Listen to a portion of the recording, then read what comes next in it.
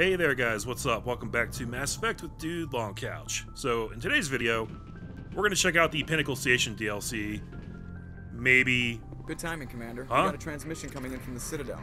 Top priority clearance. Oh snap. Is it the ambassador? It's not his signature. I think it's from the Council. I'll patch it through to the comm room. Oh, okay. Well, forget what I was just about to say. We got a call from the Citadel. That could be important. We should probably check that out. This is the comm room, right? Yeah. Commander Shepard, we've received information that may be critical to your mission against Saren. Good. I'll take all the help I can get. We've received an urgent message from one of our infiltration regiments in the Traverse. Infiltration regiments? Does that mean other Spectres? You mean spies? Spectres tend to attract attention, Commander, but they are only one arm of the Council. Oh. Special task groups are often a better option for monitoring developing situations. We currently have several infiltration units scattered throughout the border regions of Citadel space. This particular unit was gathering intel on Saren. Okay, cool. What did they find? Unfortunately, the message we received was little more than static. The infiltration team must be in a situation where they can't set up proper interstellar communications. But the message was sent on a channel reserved for mission critical communications. Whatever they were trying to tell us, we know it was important. Considering your interest in Saren, we thought you might want to investigate this. Find out what happened to our team. The signal originated from the planet Virmire. Virmire. Okay. I'll look into it. The Council prefers not to become involved in the specifics of Spectre activities. We only want you to be aware of all your options, including Virmire. Good luck, Commander Shepard. We will keep you advised if we learn anything else.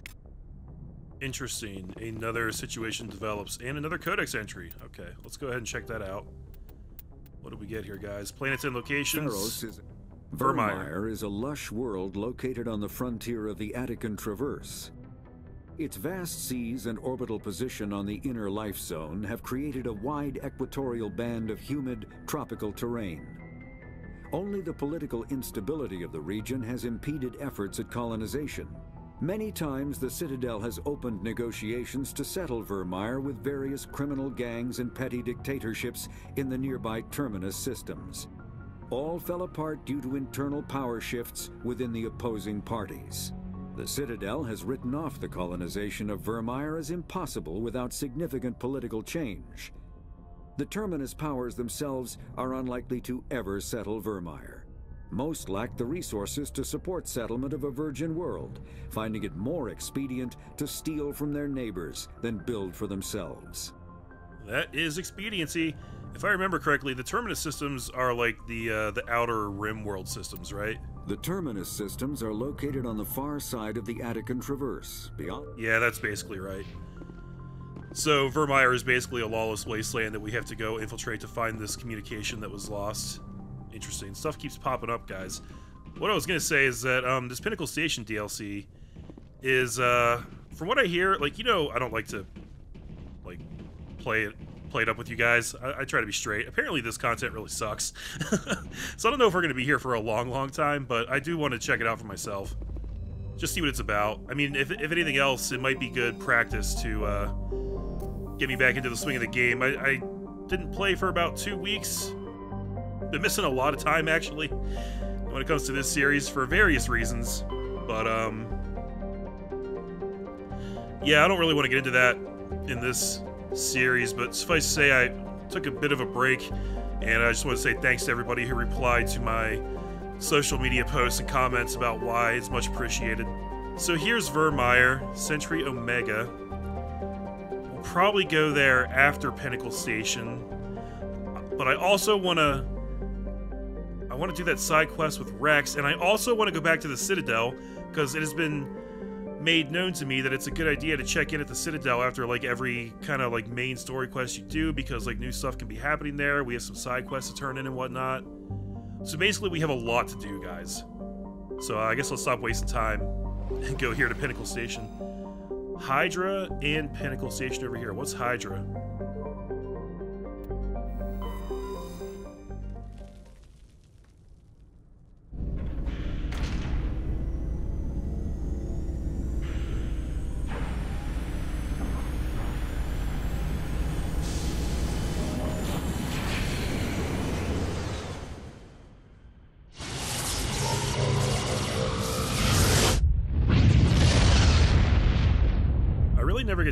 Watching that. It's so cinematic. Commander, urgent message from Alliance Command coming in. I'll patch it through. Shepard, this is Admiral Hackett from Alliance Command. We've got a situation here, and you're the only one that can handle it. Good God, I'm starting to hear that a lot. What do you need, Admiral? There's an Alliance training ground where we test weapons and technology in live fire simulations. One of the VIs we use to simulate enemy tactics in the drills is no longer responding to our override commands. It's gone rogue. It's gone rogue. Are you telling me this computer is thinking on its own? We're not stupid, Shepard. This is a virtual intelligence, not a true AI.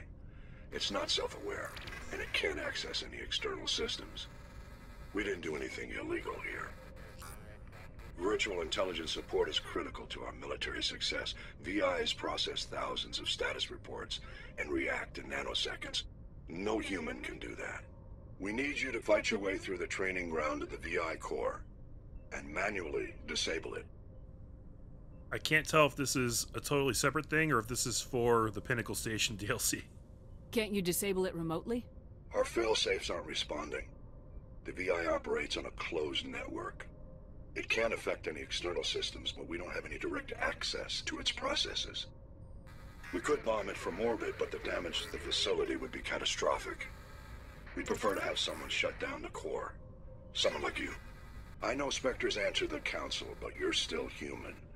You're still part of the Alliance military, and right now we need you. The VI controls all the facility's weapons, drones, and automated defenses. You're the only one that can pull this off, Shepard. Good luck. Thanks. This sounds like it's going to be a great time. There's a bunch of new systems here to check out. Okay, let's start over here. Saiba. Saiba is a standard Neptune-type gas giant. The upper cloud decks of its hydrogen-helium atmosphere are tinted a dramatic blue by traces of methane. And scans from orbit have detected a large concentration of helium-3. Good. We need more helium on the Normandy. They are. Are is a large gas giant with traces of chlorine and sodium in its atmosphere. It also has a significant amount of water vapor in the clouds of its upper atmosphere. They are was struck by an asteroid at least 12 kilometers in diameter within the last hundred years. The superheating caused by the impactor's atmospheric passage created a large bank of vicious storms along the equatorial band. So, not a very friendly place. Got it. I'm not even going to bother to survey it. Varmalis. Varm that's kind of a cool name. Varmalus has a thick atmosphere of nitrogen and helium. Its surface is scorching hot and mainly composed of alumina with deposits of borax, whatever borax is. The planet has an extensive network of subterranean caves formed over the millennia by volcanic processes. In these relatively cool areas, some primitive life has developed. Alright. Not a lot going on here so far, it seems. Message coming in. Patching it through. General distress call from the Sacred Angel Medical Transport. Critical system failure. Losing power. An emergency landing.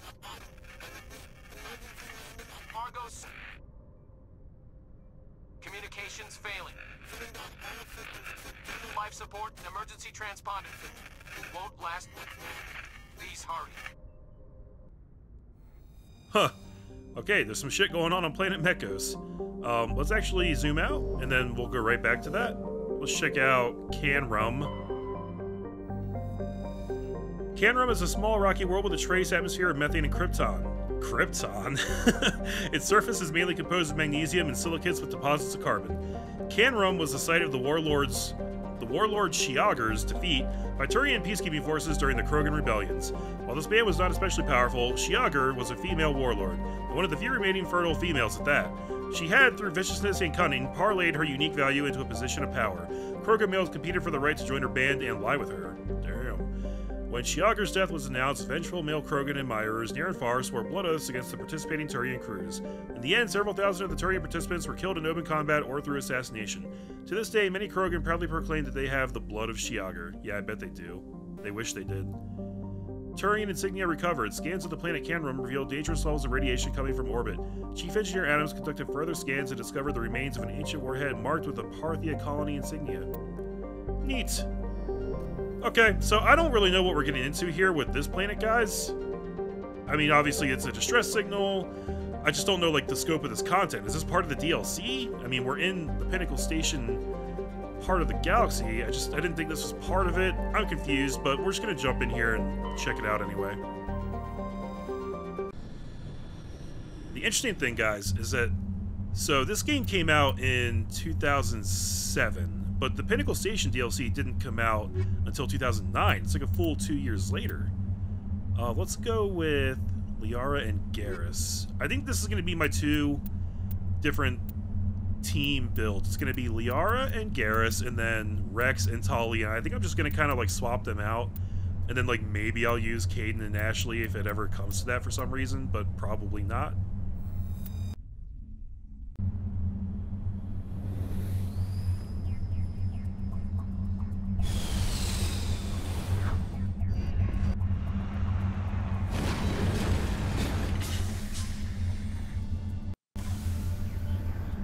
Level 2 hazard and a pretty barren world. We gotta find these fools and help them out. Let's check the map situation.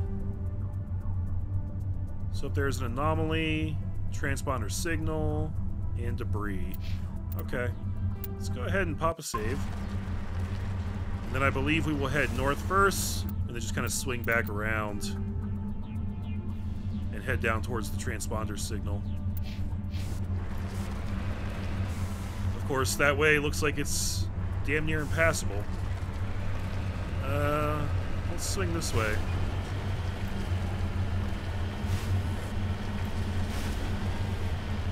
So yeah, the interesting thing is that Pinnacle Station DLC came out like a full two years after the game, which is kind of unheard of in these days. You know, you don't really ever hear of DLC coming out longer than like six months after a game, you know, after the base game came out. I, can't remember the last time something like that happened. But even bearing that in mind, it was still kind of the early days of DLC, right? Like, just didn't have a lot of it back then. I mean, you, you saw game developers dipping into the concept of microtransactions, but they weren't really getting into like fully fleshed out DLC campaigns and extra story content like we have today. So that probably explains why this is the way it is. It wasn't all that long after the infamous horse armor debacle in Elder Scrolls Oblivion. if anybody remembers that. That was the first time people were like actually pissed off about DLC. And it's kind of funny because like back then the main uh, attitude was like, you know, ah, DLC is price gouging gamers. We don't want it. Fuck off with that. And these days, people are like mad if there's no DLC for a game. They're like, hey, where's my extra content? Give it to me. Force feed it to me down my throat. I want it. Wow, we can't hang out for long out here. Okay, let's recover this Turian corpse. This is an easy one. While searching the wreckage, he found a very old letter stamped with the Gothis colony insignia. Unfortunately, the text is indecipherable. Maybe a Turian could help us with that? Maybe? We really can't screw around out here for long, guys. Damn. Alright. Where to next? We should go hit the debris. That's right. That's where we're gonna go. That'll be over yonder. I don't know, guys. I just think it's interesting to think about the landscape of gaming and how it evolves over the years. You know, I've been been a gamer pretty much my whole life, with little pockets of breaks here and there, but I've been pretty involved. I've paid attention to the industry for most of my life, and it's, it's just really interesting to me to see the way like values change and practices in the industry and the way gamers respond to things. DLC and microtransactions has kind of been one of the most interesting ones. I'm starting to get a lot of backlash now against like microtransactions specifically. There's been some interesting stuff going on with like Randy Pitchford, who is the CEO of Gearbox, makers of the Borderlands games. He got in some hot water recently. If you didn't hear anything about that, he basically was at a presentation for Borderlands 3 and he said that there wouldn't be any microtransactions. Then it came out that there would be cosmetic transactions, and he's like, but I didn't mean that, and it was a big fiasco. I don't know. Borderlands 3 still looks cool. I'll probably play it. But, I don't know. I think some of these practices are a little predatory sometimes. I think it just comes down to how they balance it out, right? What do we have here? Salvage. Good. Electronic skills too low. Should have brought Tali. Are you gonna... Are you gonna not let me back in here? There we go.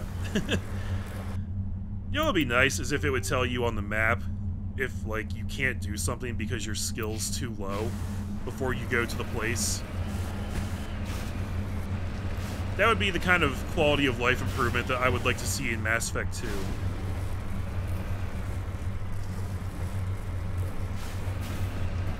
But, you know, I told you guys how, like, I had a little bit of experience with this game coming into it.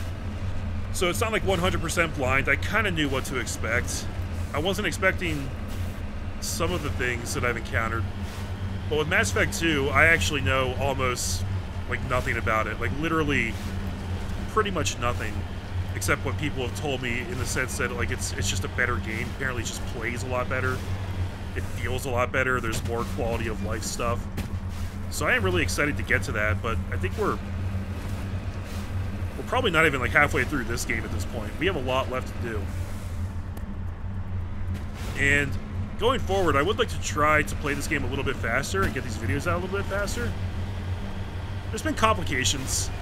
There's always complications, you know. Sadly, I can't do this full time, so I'm not as fast as some other Let's Players when it comes to uploading content. I try my best but it is what it is. Alright, we got a fresh save. Let's see what's going on with this transponder signal. Careful, Commander. I've got a bad feeling about this. Yeah, me too. When you say anti-vehicle mine, that makes me very apprehensive. Can I just blow that up, I wonder?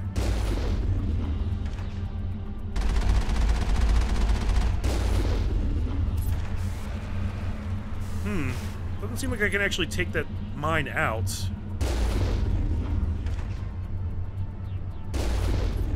I guess we just gotta go in on foot. But we gotta be really careful.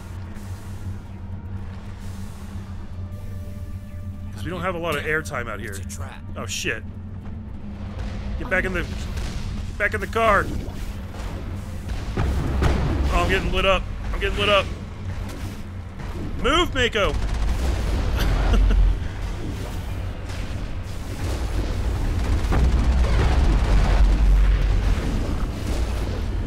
I gotta create some distance here. And get into a spot where I can actually shoot accurately.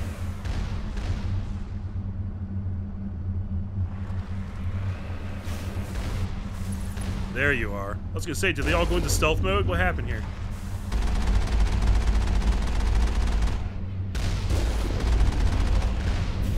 Gotta get some kills.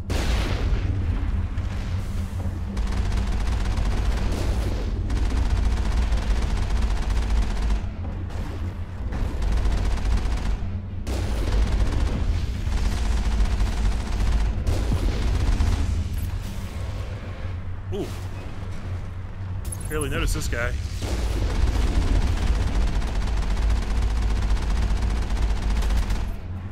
Alright, alright. Still have a little bit of shields. We're still good here.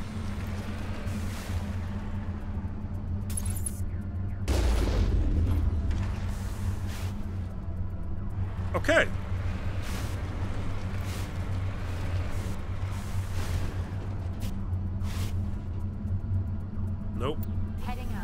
Now, when you say anti-vehicle mine, does that mean that I won't set it off by walking over it myself?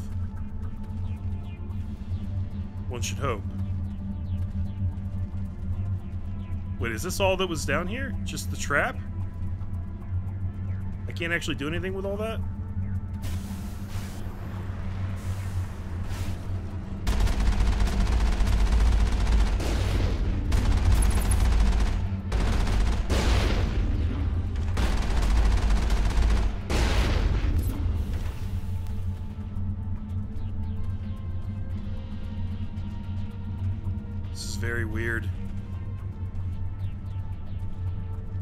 Guess that was all we had to do down here. That's like... That's so weird. Nothing happened down here. The whole point was just to come down here and get ambushed, I guess?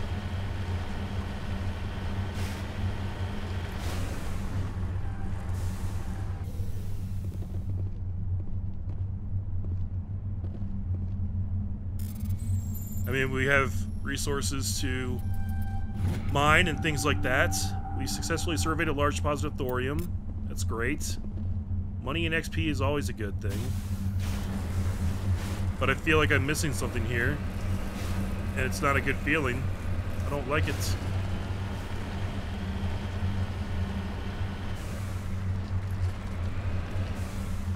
I kind of want to run this thing over just to see what happens. You know what, guys? I'm going to do that.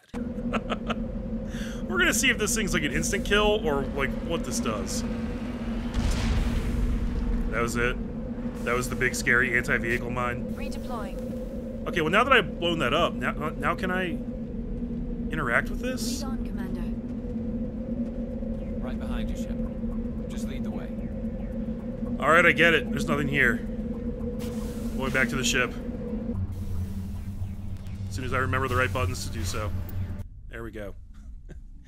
well, that was a big WOT. It's a waste of time. And see, I feel like I missed something there because we didn't even get any dialogue like, oh, well, that that was a whole that was a whole thing. That was a whole waste of time, right? Shouldn't have come here. Like, can I call that dude back and be like, yo, this was this is just an ambush, it's not anything, don't worry about it. I guess not. Hopefully somebody will let me know if I'm missing something there. Anyways, let's actually go to Pinnacle Station for real. Got extra systems in here too. Silsalto is a standard hydrogen helium gas giant. It has no remarkable features. Kinda looks like Neptune up close. Did you guys know that sometimes Neptune is farther away from the sun than Pluto is? It's always thought that like Pluto's is like the farthest thing from the sun, right? At least in terms of like the traditional nine planets. I know Pluto's not a planet anymore, but it's always thought that like Neptune was number eight, Pluto was number nine, distance-wise, but they actually alternate in terms of which one's farther from the sun. Pretty interesting.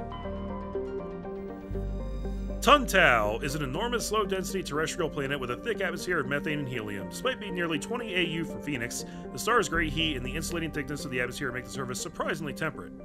The crust is mainly composed of sodium and silicon dioxide with deposits of various light metals. While Tuntau is not habitable, the relative pleasantness of the surface conditions make it a popular location for small ships traveling through the Argos Rho cluster to land for dry discharge. Okay, I never actually read the numbers out loud, but sometimes I just like to scan them. Oh look, we can land here too. Look at that. Wonder why we would want to. Patashi is a sun-blasted terrestrial world whose atmosphere was blasted away millennia ago by the star Phoenix. The surface is scorching hot and mainly composed of iron with deposits of tin. Due to its relatively low density, Patashi is tidally locked to Phoenix. Seeds of molten light metals cover much of the sunward side. Sunward side. While scanning this planet, you detected a deposit of samarium. So when I do those surveys, it's giving me like XP, right? Intai Say. An atmosphere similar to Earth's made Intai Say an early candidate for human colonization. However, prohibitively high temperatures and an arid climate have proven a hindrance to terraforming and agriculture. A few human cities were founded, but the majority of the human population on Intai Say remains scattered across the vast deserts, operating wind farms and geological research stations. The capital is Loro Mesa. It has a population of 150,000. That's not too shabby. Alright. So we looked at that. Patashi is one we can land on, right? Then we've got these over here. Vebinok. Vebinok is a small terrestrial world with a thin atmosphere of krypton and xenon. Its frozen surface is mainly composed of carbonaceous material, water ice, and low-density silicates. Rare but concentrated, concentrated loads of light metals have been deposited by asteroid impacts. One hemisphere of Vebinok is covered by surface deposits of oxidized copper. Approximately 270 years ago, a Turian bulk gas transport was attacked by pirates in the Phoenix system. Damage had made a rough landing on Vebinok. The heating of the landing melted significant quantities of surface ice, and ruptured shipping containers spilled locks across the surface. Before this evaporated and escaped Vebinok's weak gravity, it, re it reacted to cause the widespread rust. Okay. Scans from orbit have detected a deposit of cobalt. That's actually a pretty interesting story, but I'm just like, I don't know what to take away from that. it's interesting fiction. And uh, we did look at this one. Yeah, that's that's the Neptune looking one. Uh, let's see if there's any hidden things around here. Not really detecting any. That's not the one we can land on. It's this one. No, it's not. Toontown, there we go.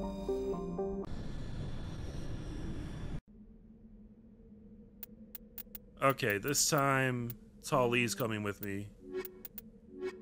Tali and Rex.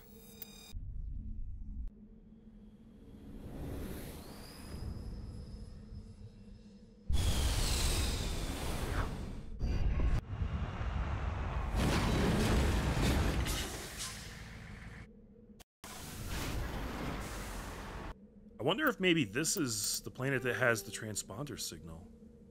Hidden structure? And an anomaly. Okay. Yeah, maybe that other place we went to was just a big red herring. Maybe this is the place we were supposed to come all along.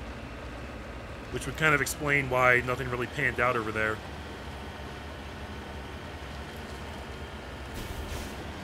But don't hold your breath.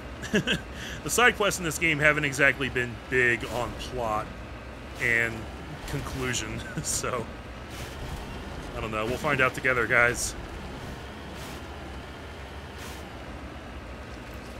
Feel like they didn't have to make these planets this mountainous, though. Whoa, what is... What is going on down there? There's some shit going on down there, guys.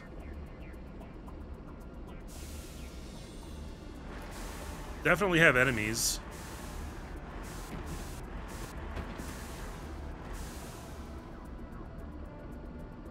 Alright, I'm just gonna jump in. We have a fresh save.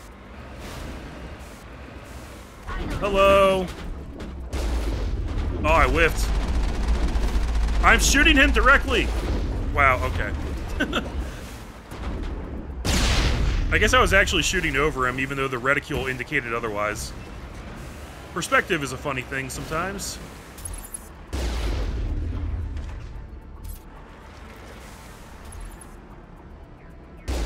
Sniped. Let's see what's going on in here.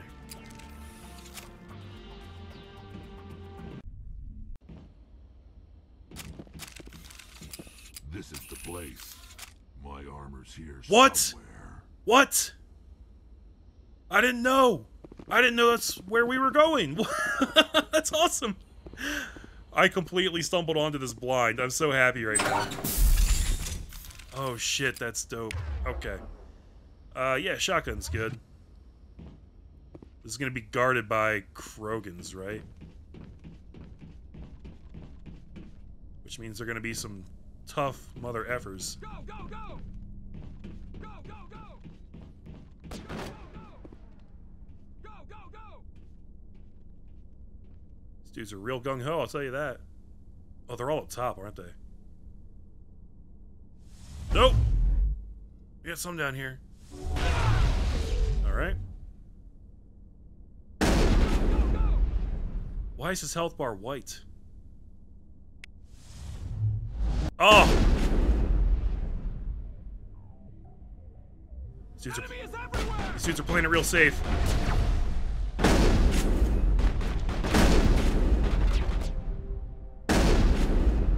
It's right there. You can't hide from my shotgun forever.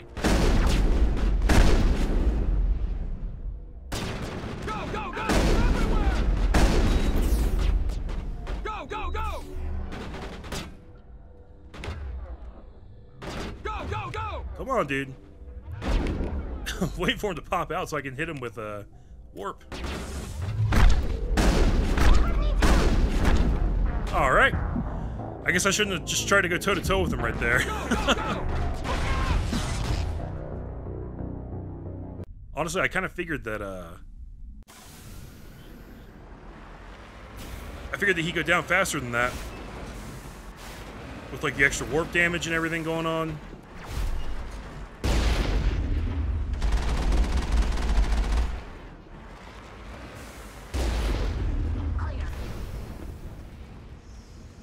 About blocked the door for myself there. Uh, yep, there we go. I was gonna say, if I actually block the door, that's gonna be really annoying. this is the place. My armor's here somewhere. Okay, so I don't think we're actually gonna get to Pinnacle Station in this video, guys. But I'll do you one better. We're gonna find Wrex's armor. Over there.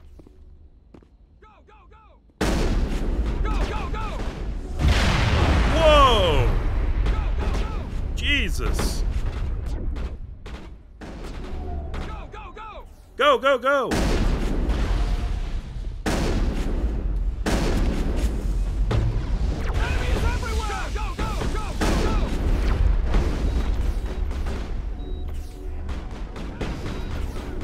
I can't get a good shot on any of these guys. They're actually very tactical. I gotta hand it to them.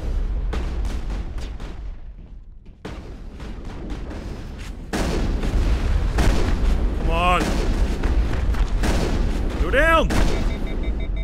Son of a bitch. Alright, let's uh let's do a little bit of this. And let's do a little bit of this. Go, go, go. I don't even think that hit him.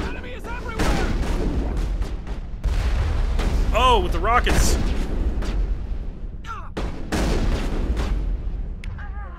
Probably gonna need some barrier.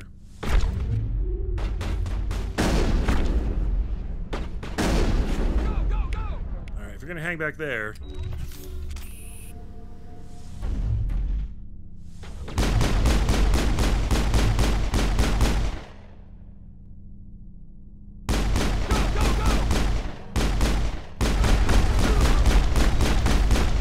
Yeah, this dude's tough.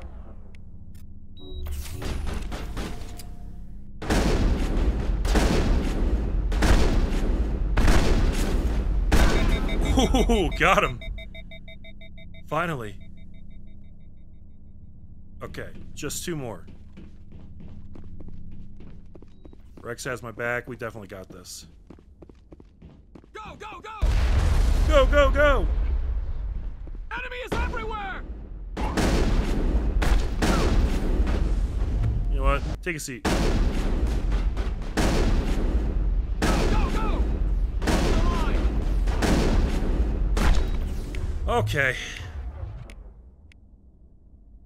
Uh. Shit, shit, shit. Go, go, go. Go, go, go. I Kind of hate these guys. They're real squirrely. Jesus, don't do it. Don't do it, buddy. Oh, he almost did it, guys. He was so close to doing it.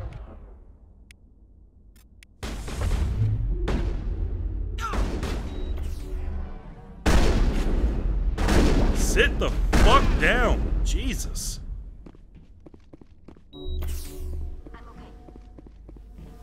Dudes were strong, man. Okay.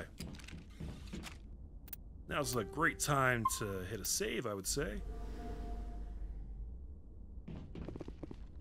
Now, I see that the quest is leading me back that way, which means I have to go this way first. That's how it works. You guys know that. See, this place is laid out exactly the same as one of the last places we infiltrated on one of these random planets. It's that kind of stuff that sticks out to me and makes me feel like they just they didn't put a lot of time into these side quests. I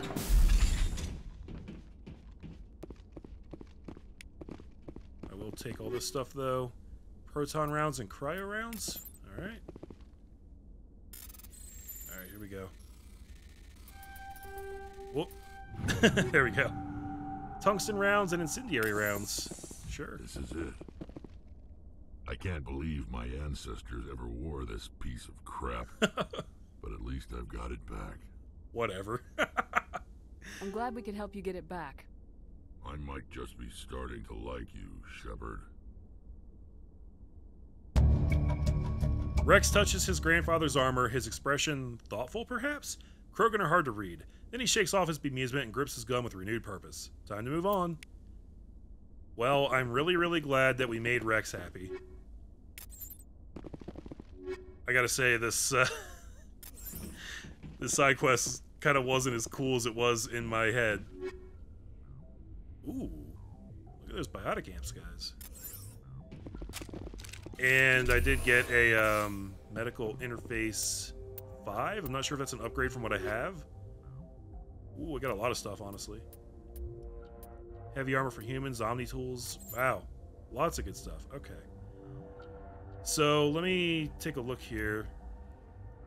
Always fun to mess with this UI. I've got first aid interface 3, medical interface 5, gives me plus 2.7 health regen per second and plus 40% toxin resistance. That's fantastic. Decent upgrade for me right there. I will throw that on happily. Now for my pistol upgrades, I don't have anything on here, and I still haven't found anything that I can get, so that's too bad.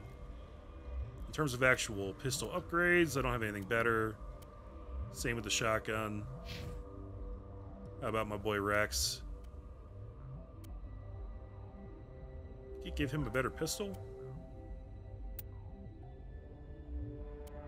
I don't really have him using it all that often, but hey, why the hell not? And then for Tali, we should give her a new Omni tool, right? Oh, we already have the Cypher Tool 5. So those are not upgrades. Okay, never mind. Good to know. Oh, and yeah, like, I assume that that armor isn't anything Wrex can actually wear, right? It's just a quest thing. It's just a thing you do. Yeah. It's not a real item that you can have and hold and cherish till death do you part. It's just a quest thing. Wonder what's behind this door.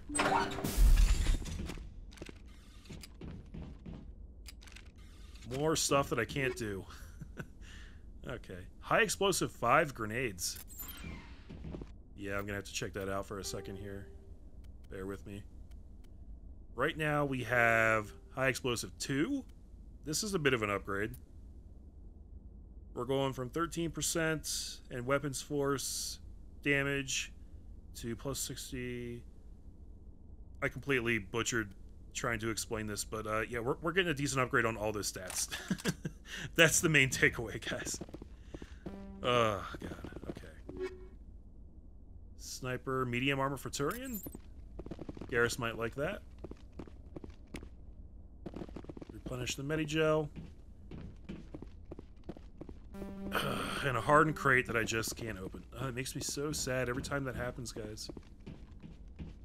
And because of that, this exclamation mark is going to hang around here. And it's going to forever be taunting me from the minimap, saying, you can't do this. Unless you come back in, like, an unspecific amount of time. I have no idea. That's probably the most annoying part of it, honestly, is I have no idea when I will have a good enough decryption skill to actually come back and do that. Like, there's just no way to know. You just have to do it. you just have to keep coming back and checking and hoping that you get lucky. Oh well. So at least that's out of the way.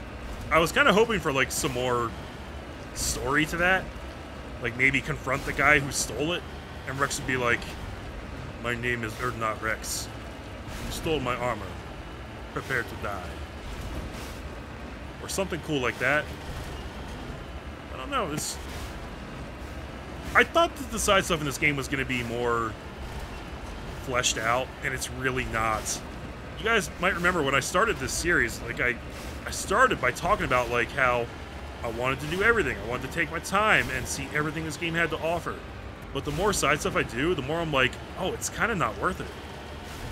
And I don't mean to like shit talk the game because I think it's a good game, but only in terms of the main story. Like the main story missions are pretty cool. I always enjoy those.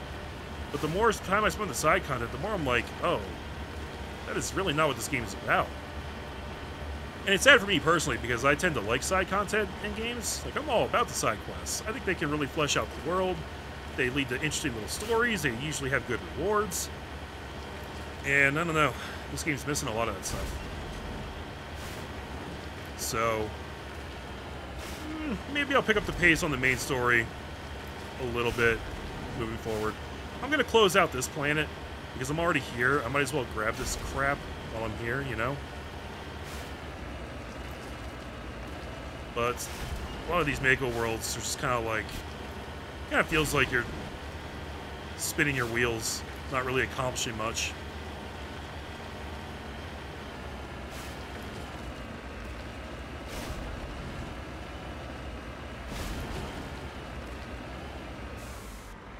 Whoop! There we go. Got a crashed probe.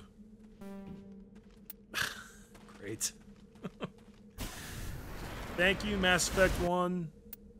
It's very, very excellent of you. Alright, we got one more thing to examine over here.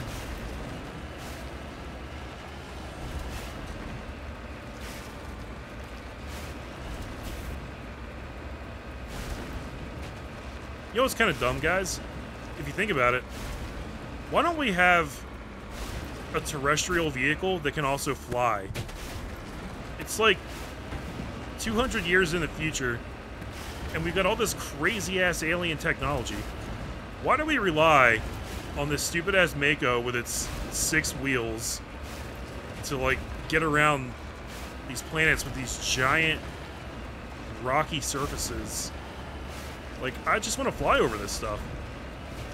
It can't be that hard to make an air-capable vehicle that can carry, like, three people, right?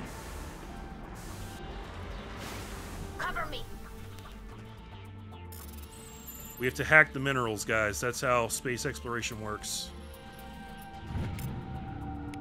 Heavy metal survey. Large positive mercury. Hey, level up. It was all worth it. Let's go ahead and do that now before I forget. I got two points. We're going to throw these points into shotguns. And I'm thinking Spectre training. Or I could do Charm. Oh, I've been neglecting the Vanguard tree too. This says pistol and shotgun damage and biotic protection. Um, you know what? I think Spectre's better overall. Yeah, that's smart. Let's throw the point in that. There we go.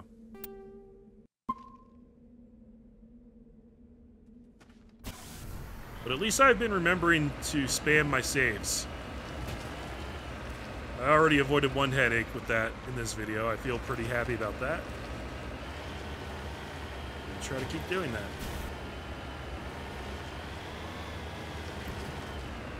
You guys know that if this game was made today, there'd be like conversations happening on the Mako right now with our crew members, our squad mates. They'd be like talking to each other and having these back and forth dialogues. They'd be telling war stories and stories from their races, cultural stuff. It'd be cool shit.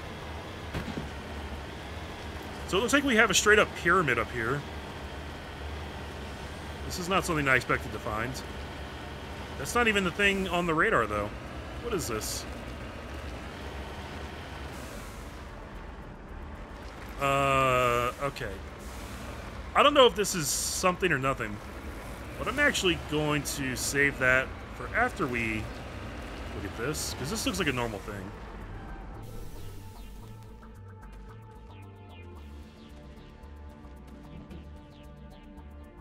Asari capsule.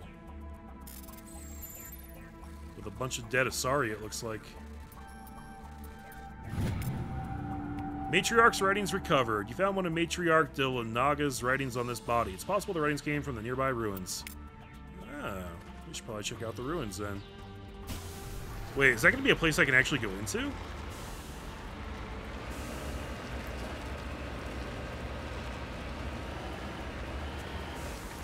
It looks pretty tiny, but...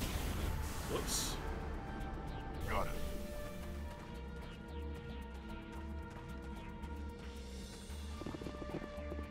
I did not expect to be able to run up the side. What the hell?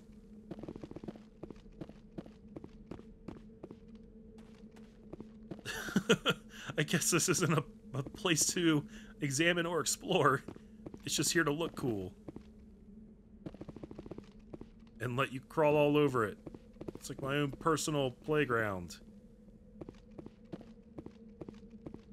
Weird. It's so weird that they would design something like, like this, but then not let you go into it. I don't know, guys. Maybe my sensibilities are too modern. I I kind of get faked out by some of the stuff in this game sometimes. I'm like, is this really the end of this little side quest? Because like nothing happened. Can I really not do anything here with this thing? It's weird, man. I, I like I feel like I'm missing stuff, but then I don't think I am rationally. But I can't shake that feeling where I'm like, shouldn't there be more to this? it's really weird. Anyways, guys, all right. So this video didn't turn out how I planned, but uh, next time, next time we'll go to Pinnacle Station, even if it's just for a couple minutes, just to check it out. We'll check it out, and then we'll um, move on to something probably more important and more exciting. All right, thanks a lot for watching, guys. Really appreciate it, and I'll see you in the next episode of Mass Effect. You guys take care.